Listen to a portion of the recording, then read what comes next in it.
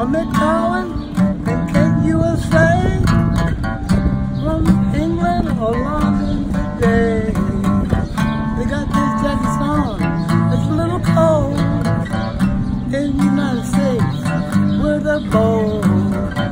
I like that hat that you wear in your country. They think it's fair.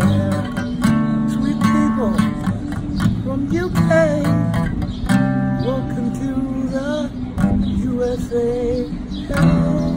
Cool.